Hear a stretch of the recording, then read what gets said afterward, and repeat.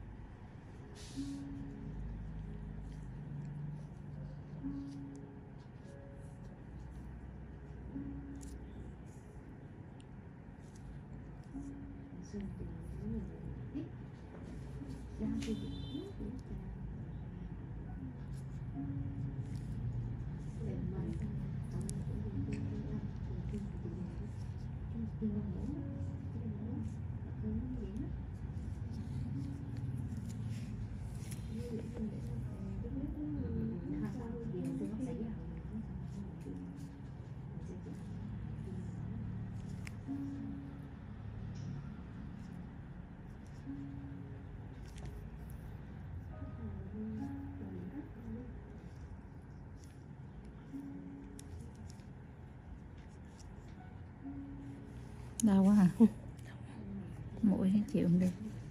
Ráng xíu cho này nữa mũi nặng cũng nhẹ mà khó chịu.